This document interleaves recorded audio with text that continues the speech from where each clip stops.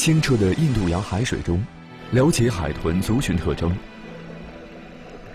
探访毛里求斯的中医诊所。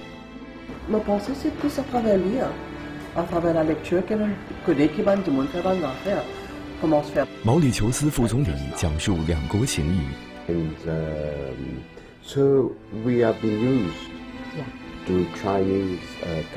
远方的家大型系列特别节目《一带一路》第五百一十六集《中毛友谊链接未来》正在播出。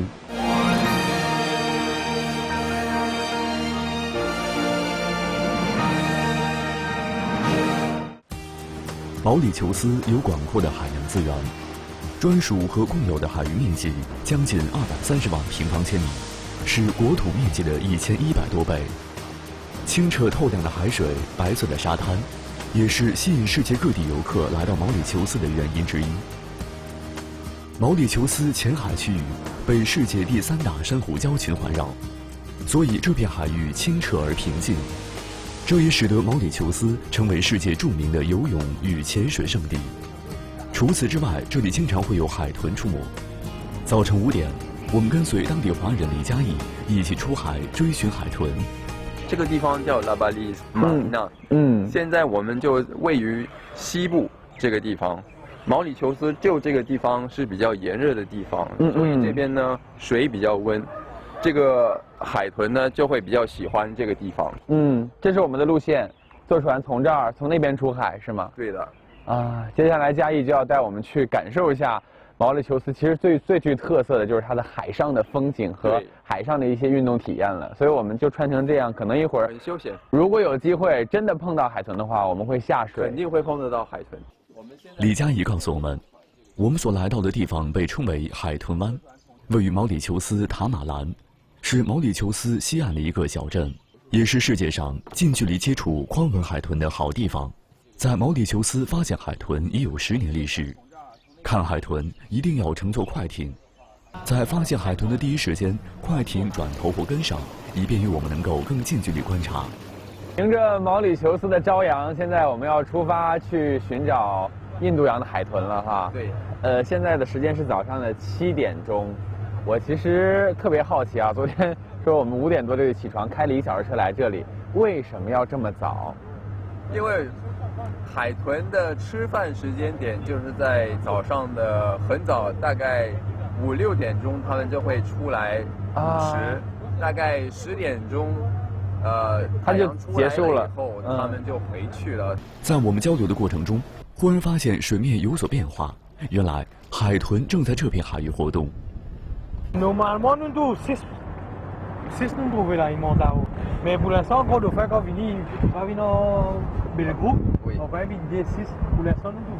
啊，这几个游客穿着这个浮潜的设备在追逐海豚。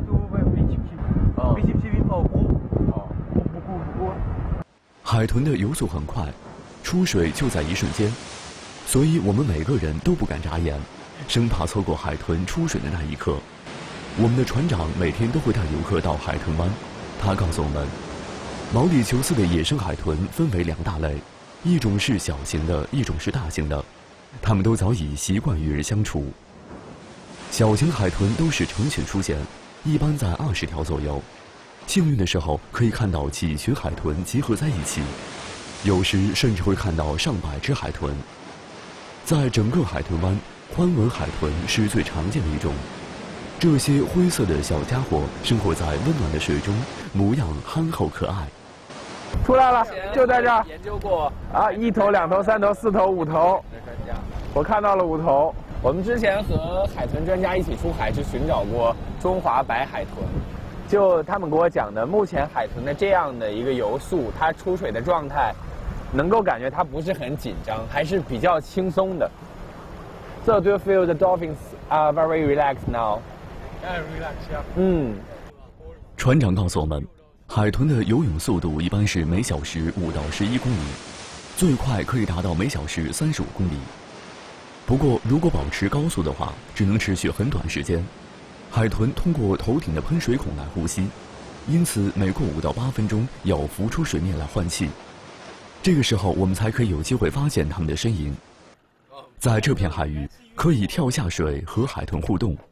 记者也开始更换装备，希望能和海豚亲密接触。好，我们是从这现在的水深，我看可能有超过了六七六七米吧，七八米的样子。所以对我们来说，就是六七米和一百米没什么区别，都是很深的啊。对。忽然，我们看到了海豚的身影，记者迅速跳下水。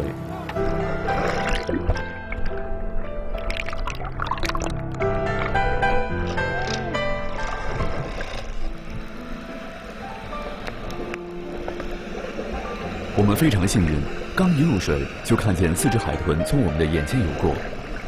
巨大灵动的身影十分敏捷，出水时耳边能听到好听的海豚音。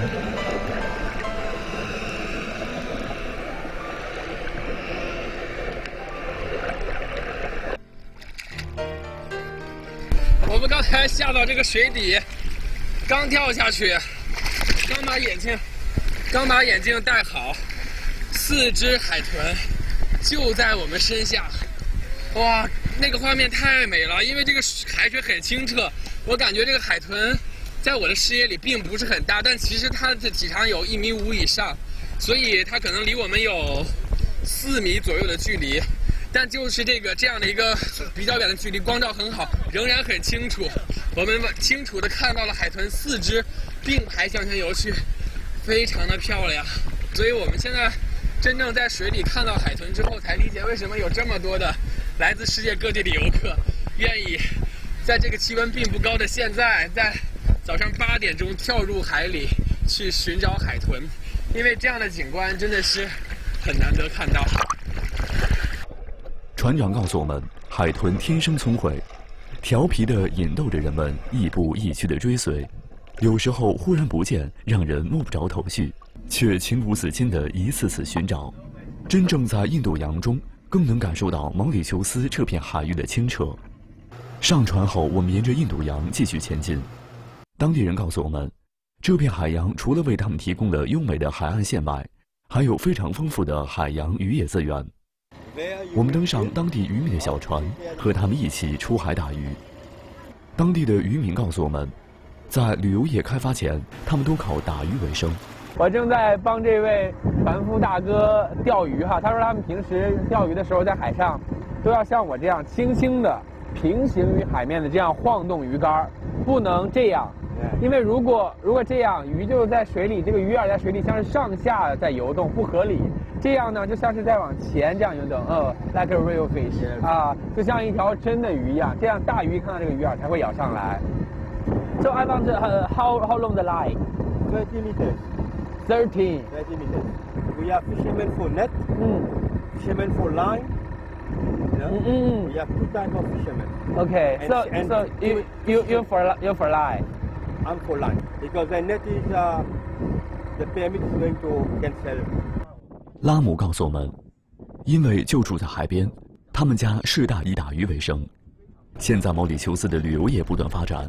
他有时也会带着游客体验一天渔民的生活，以增加收入。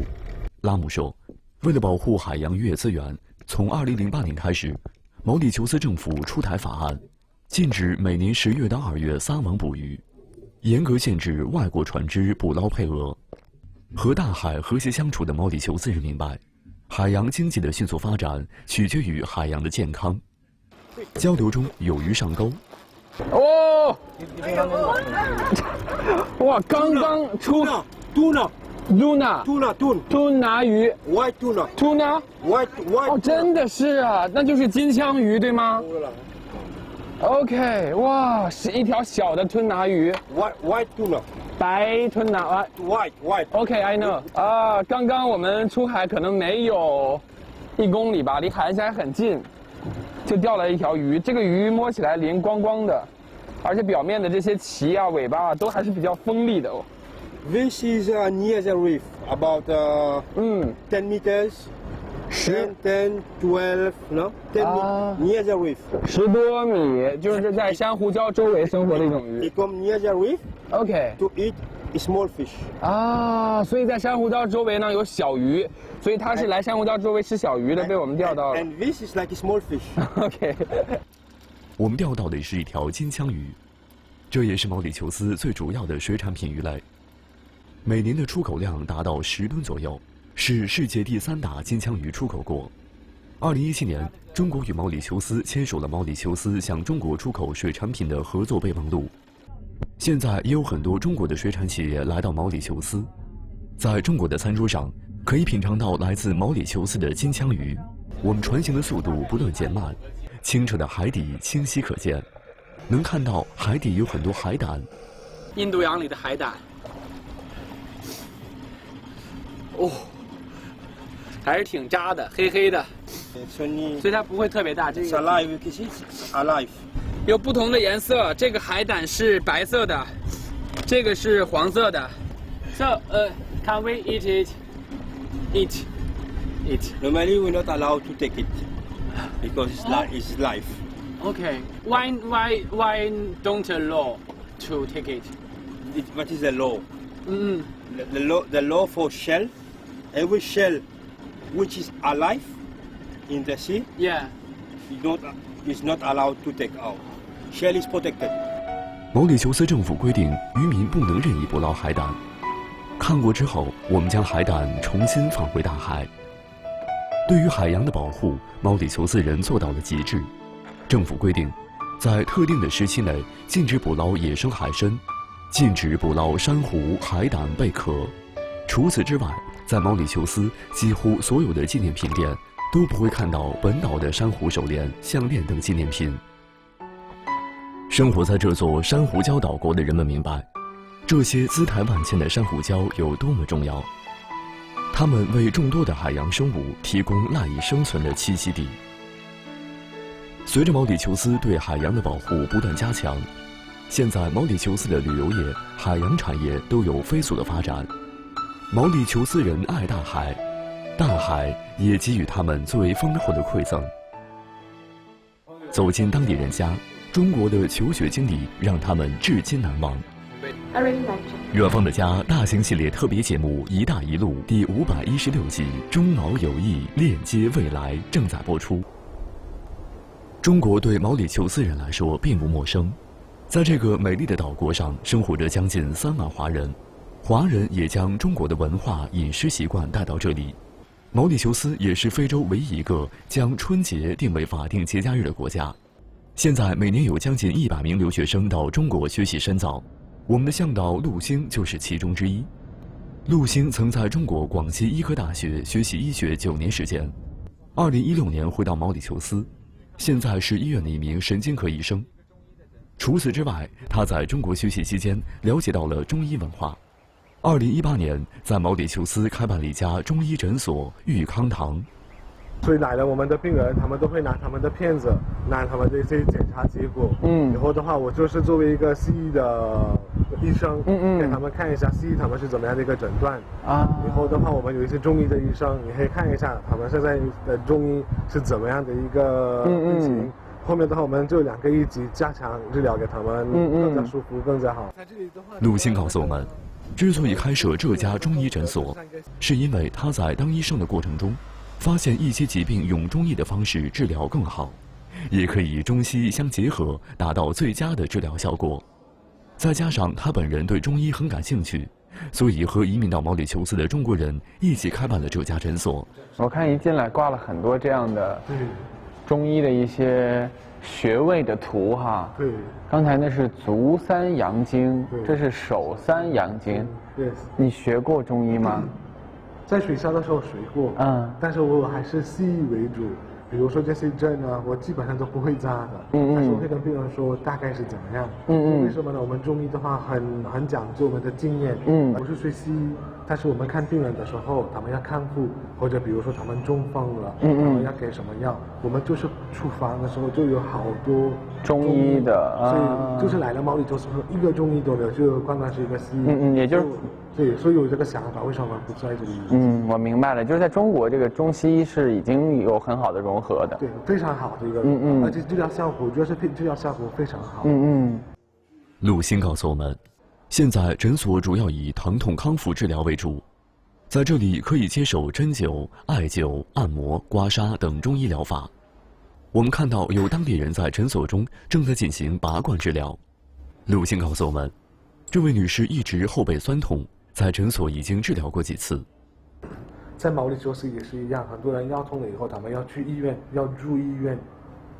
你住医院的话，他们要给一些，呃，一些肌肉的一个放松的一些药，然后也要给一些激素，顺便还有一些止痛药。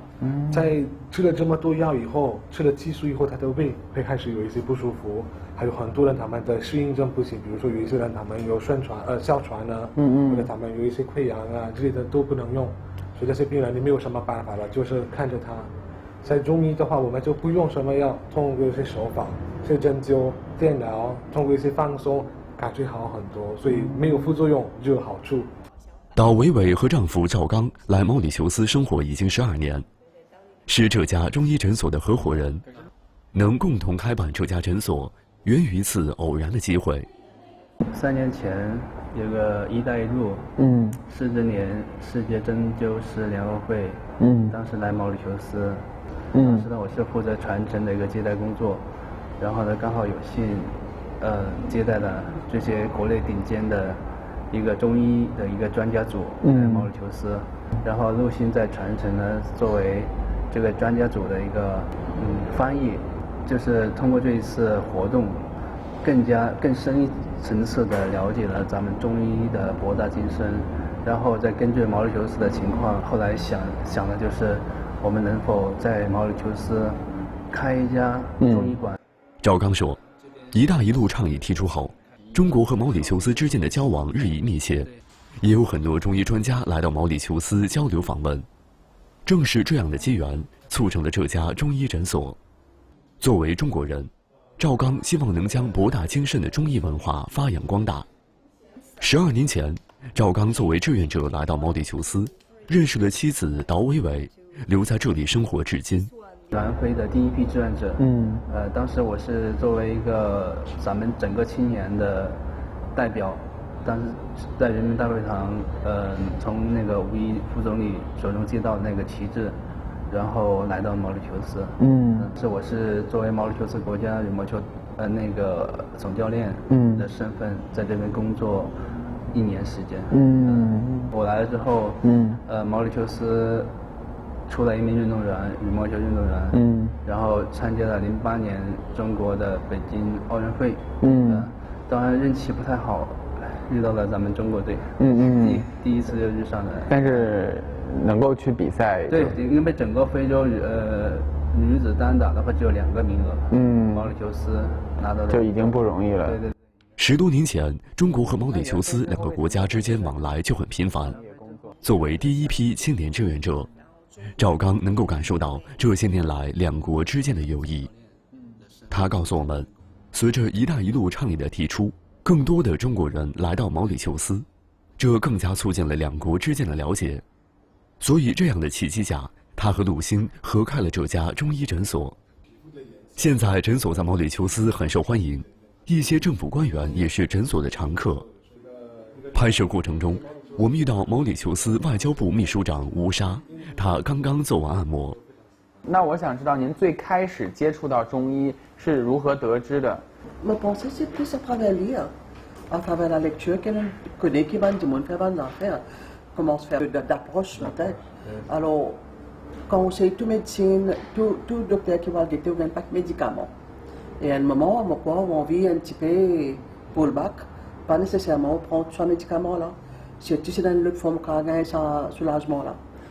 陆星告诉我们受海洋气候的影响毛里求斯气候比较潮湿本地人饮食偏甜所以体内湿气较大很多人都有腰腿疼的问题。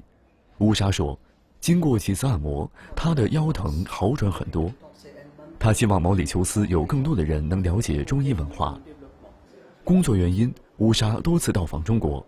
她认为中国在很多方面十分先进，值得毛里求斯学习。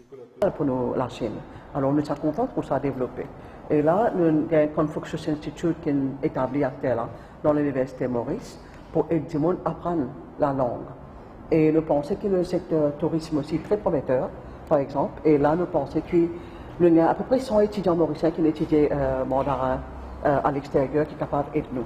Je pensais que tu allais pour être. Ou bien ça, quand il connaît, il prend moins un coup de déco parce que maintenant, on va le faire. Yes, yes, yes.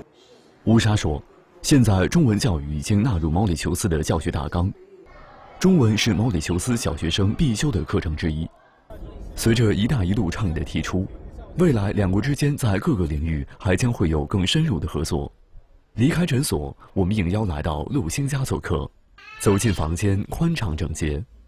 丽丽，嗨，丽丽啊，陆陆星这两天老提你，因为他是我们的小朋友。哎，小朋友你好，一岁了，好漂亮啊！她叫陆丽，和你同姓，都姓陆。马路的陆，立起的你叫陆丽呀？啊啊，小男孩是吗？对，为什么我们选了这个名字呢？因为像陆星，他叫丽丽。所以我们一定要配合陆丽啊，是你们两个名字的结合。但是刚好我们找不到那个名字，所以刚好是我们的孙大使说，那就是马路的路，绿气的绿，陆丽。还是这个中国大使馆的 中国大使帮他起的这个名字啊？那你这个名字厉害了啊！中国大使帮你起的名字啊，陆丽。陆星和妻子、儿子还有母亲住在这里，家中的摆设很有中国特色。墙上挂着中国的灯笼、喜字挂毯、中国画，还有一些中国的工艺品。这边是一个书房，对，这是我们看书的。我和丽丽的房间，还有小 baby 的。这是你们主卧卧室哈。对，很很面熟啊，这个我们家现在都很少用了。对我，我妈妈特别喜欢这一个。是吗？对，如果她比如说她出国，她去玩或者怎么样，基本上没有人动她。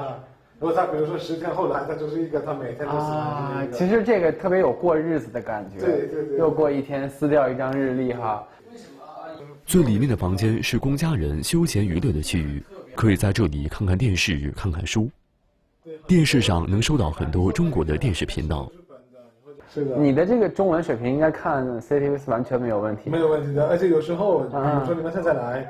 所以跟你们多有一些机会交流。嗯，如果没有来的话那我，就是看着 CCTV，就是听听一下。有一点有时候会想一些中文。要不然在这边待的久了会忘，是吧？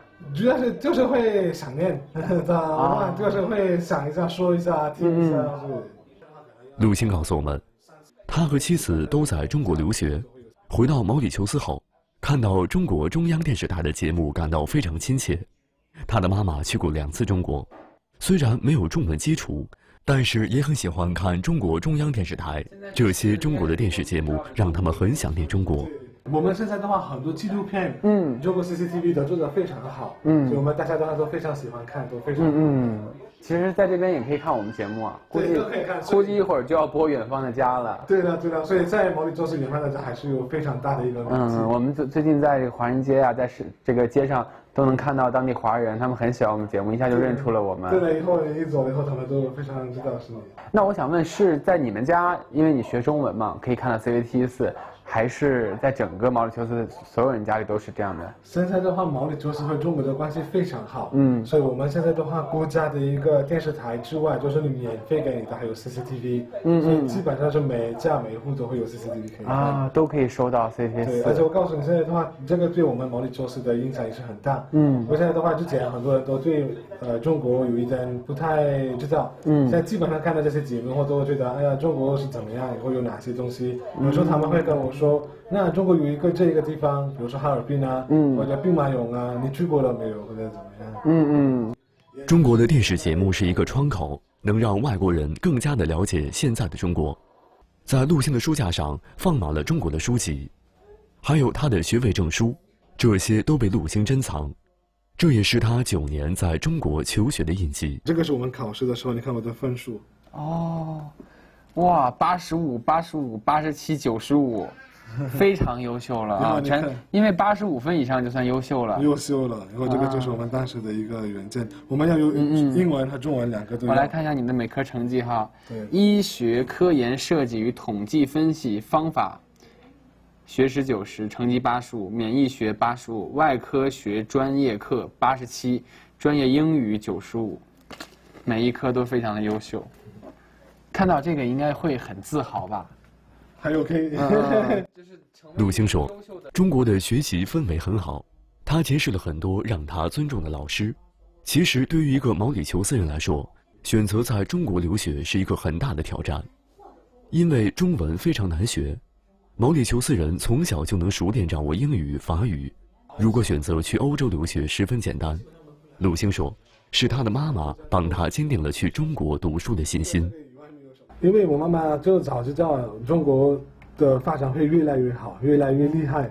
现在的话，我确实觉得现在去了中国，我自己感受到了中国的一个国家的一个强度，国家的一个发展趋势。所以我会来了毛里求斯以后，确实对我的帮助很大。因为中国的话，毕竟跟毛里求斯关系非常好，嗯，所以如果有这门语言的话，就是跟得上这个发展的一个趋势。嗯嗯，所以现在有这个汉语的基础，也变成你可以获得更多收入的一个有力的保障了，是吗？对，收入是第一个，第二个的话就是你的你的人脉，第三个就是你扩大你的势力。对，对我来说，整体的一个发展还是很很大的一个好处。熟练的中文为陆星创造了更多的机会。陆星回国后，还曾经在中国驻毛里求斯大使馆工作过一段时间，这些经历都让他更加了解中国。陆星和妻子丽丽是同一批留学中国的学生，也因此相识相恋。陆星在广西医科大学，丽丽在温州医学院读医科。那你们在读本科的五年就一直异地恋？对，是的，差不多是六年。嗯嗯。我们是零六到一二年，因为他读了呃五年半在温州，所以那时候的话就是分开了。嗯嗯。后面的话，我们就准备读研究生，然后跟我的老师说，就是跟广西科大学的老师说，可能我后面研究生不能在广西科大学读了。他们说那为什么呢？我是因为我可能要去其他一个学校。他们说为什么？我说那可能其他一个学校可以给我们两个一起奖学金。后面老师就找办法给我们两个一起奖学金，两个一起读。哇，那看来老师非常欣赏你。对，因为我们嗯因为在学校的时候还他很想留住你们哈。对对对，现在他们也非常喜欢丽丽啊。嗯嗯，所以你们就都拿到了广西医科大学的奖学金。你们两个一起毕业。对。二零一七年，陆星和丽丽在毛里求斯结婚，三十多名中国的好朋友来到毛里求斯为他们送上祝福。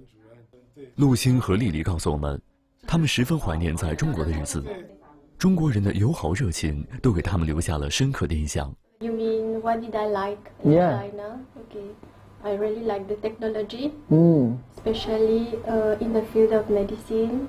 Okay, very advanced compared to here. The hospital China is very safe, very secure anytime at night, and we went to several places. 哈尔滨、西安、西安啊，深圳、广州、香港、上海、北京、呃，三亚。I really like China。丽丽说，他们在哈尔滨第一次看到下雪，这让她兴奋不已。中国的美食、便捷的交通、方便的网上购物、外卖送餐，这些让他们想念。陆星说，现在他们一家每周都要到中餐厅吃饭。在二零零六年。毛里求斯的中餐厅数量不多，现在已经有超过五十家的中餐馆。交流时，陆星的妈妈热情地为我们准备了茶点。刚才我和陆星聊天的时候，他说，他当年去中国学习，包括一直在中国坚持学习了九年，这个期间您给他很大的鼓励，一直支持他，一定让他学好中文，在中国好好学习。当时您为什么要这么坚持让他去中国？Un programme de télévision, CCTV, quand on fait ce programme-là, je suis bien content la Chine, sur propreté, sur sécurité, sur bien entretenir, tout là. Et moi, j'ai apprécié. 所以在陆星去中国之前，您就经常看 CCTV 吗？就是你们家能收到 CCTV 四吗？对，是有中英文双语的，所以他会非常没有什么语言的一个障碍。他说他自己去过其他的一些地方，嗯，他说看了 CCTV 以后，他自己很想去中国，所以有机会我去的话，他就是非常开心。陆星的妈妈说，在电视里她看到了一个飞速发展、安全、稳定。人民生活幸福的中国，所以他毫不犹豫的鼓励陆星到中国上学。二零一二年，陆星本科毕业，陆星的妈妈第一次去中国，中国给他留下了非常好的印象。他对我们说：“选择中国是最正确的决定。”毛里求斯之前跟中国的关系一直都是很好。嗯。但是“一带一路”后，毛里求斯作为非洲非洲的一个重点的一个发展的区，我们码头跟我们的陆一港，嗯，所以的话，很多的一些呃中国来的一些专家、中国来的一些公司、中国来的一些人越来越多了。慢慢的这些关系慢慢都做得更加密切、更加好。就是现在我们的公交车，嗯，好多公交车都是按元。都是一些裕通，都是金融，都好多都过来。比如说我们的卡车、卡车、货车都是货物车，也是从中国进口的。对，很多。比如说我自己的话，之前我们呢很少会用华为手机，嗯，现在的话慢慢的越来越用华为手机多了，小米手机也开始很多了。再像我们的，比如说现在的电信，嗯，用的都是差不多都是用华为的一些技术，都是用华为的这些路由器啊，都是用华为的。对于毛里求斯人来说，现在他们的衣食住行都和中国有着联系。中国的产品对他们来讲就是质量的保证。陆星说：“现在有越来越多的中国游客、企业和投资者来到毛里求斯，也有很多毛里求斯人到中国寻求发展。这种多方位、多元化的合作，能让两国人民获得更多的实惠。”临别前，陆星告诉我们。他们准备下一趟家庭旅行前往中国三亚。他和丽丽曾经在三亚许愿，希望能有一个健康可爱的孩子。这次他们要带陆丽一起去看了三亚。陆星告诉我们，中国就是陆丽的第二个故乡。毛里求斯副总理喜爱中国传统月饼，听他讲述两国渊源。Which we are following, as I say. very closely all the avenues which this initiative 远方的家大型系列特别节目《一带一路》第五百一十六集《中毛友谊，链接未来》正在播出。在毛里求斯拍摄期间，我们能感受到这个国家对于中国的善意和友好。这一站，我们来到毛里求斯能源与发展部，采访毛里求斯副总理兼能源部长。伊万克兰达维鲁，副总理伊万克兰达维鲁见到我们非常热情，拿出了一块中国中央电视台的月饼。原来我们此行来到毛里求斯时，恰逢即将中秋节，从中国带来了几盒月饼送给大使馆，希望使馆帮我们传达来自中国的中秋祝福。使馆将月饼送到了副总理手上。伊万克兰达维鲁告诉我们，中国的月饼非常好吃，他十分喜欢。在毛里求斯能够收看到中国中央电视台的节目。Well, I I have read about the program, and I hear that it is a well-known program all across the world. Yeah. And I'm very glad to welcome you. It's my honor to interview you. 那我们知道，不光是中秋节啊，在毛里求斯。春节也是被定为了法定节假日，我想知道这原因是什么？为什么春节会成为毛里求斯的一个法定节假日呢 ？You know, Chinese uh, people came here for a very long time. Yeah. Uh, uh, traders. Yeah. They were also sugarcane workers. Okay. And um, so we have been used. Yeah. To Chinese culture, and it is. no more Chinese culture. It is Sino-Mauritian ah, culture. It is part of our of our culture. Mm-hmm. 伊万克兰达维鲁说：“毛里求斯独立后，中国是第一批与毛里求斯建交的国家。中国和毛里求斯不仅仅是外交关系，而是有很深厚的友谊。将近三万华人生活在这里，他们也是毛里求斯必不可分的一部分。”伊万克兰达维鲁主管毛里求斯的能源发展，他告诉我们，在能源领域，尤其是可再生能源领域，毛里求斯要向中国学习。Are promoting solar energy. We are promoting renewable energy. We have for the solar equipment. Most of them are all of them are come from China. We would welcome Chinese investments.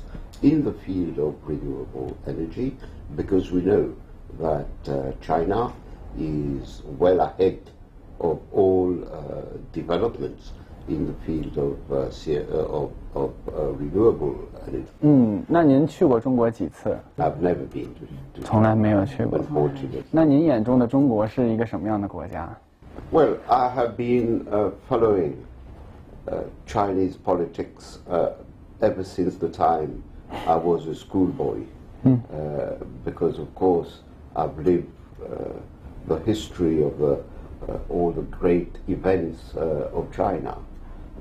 today, China comes to me as an ally of the world in the fight against climate change. Uh, we follow very closely the very strong stand which uh, your president has taken in order to try and mitigate the effects of climate change. We hope that China will be able to lead the world uh, in that great effort of humanity to save our future. 伊万克兰达维鲁说。毛里求斯的竞争力和发展水平在非洲国家位居前列，具有法律健全、基础设施完善、劳动力素质高等优势。而且现在政府旨在实行多元化产业政策，关注创新，吸引了诸如华为等高技术企业入驻毛里求斯。作为海上丝绸之路的自然延伸，在“一带一路”框架下与中国开展合作，潜力巨大，前景广阔。And uh, of course, geographically, we are well situated in that part of the ocean, Indian Ocean uh, to uh, communicate with the adequately with the Belt and Road and Silk uh, initiative, which uh, we uh, are following, as I say, very closely. All the avenues which this initiative will offer. 抓住“一带一路”发展机遇，升级对华合作，从而实现经济再次腾飞，是不少毛里求斯人的想法。“一带一路”倡议对两个国家来说都存在巨大的机遇。至此，我们即将结束对毛里求斯的拍摄。十八天的时间，让我们不再将目光停留在这里美丽的沙滩、秀美的风光上，而是更深刻地感受到毛里求斯人民对中国的友好。一项项标志性的工程造福了当地人民。二零一九年十月十七日，中国与毛里求斯正式签署了自由贸易协定，这是中国与非洲国家的第一个自贸协定。在“一带一路”倡议下，毛里求斯将成为中国对非洲投资的门户和对非洲互联互通的枢纽。中国国家主席习近平在二零一八年访问毛里求斯时表示。中非是休戚与共的命运共同体和合作共赢的利益共同体，中方愿同毛里求斯始终做好朋友和好伙伴，在自贸协定签订后，发挥毛里求斯参与共建“一带一路”的独特区位优势。中国和毛里求斯历史上就有着深厚的情谊，未来将会有更广阔的合作空间。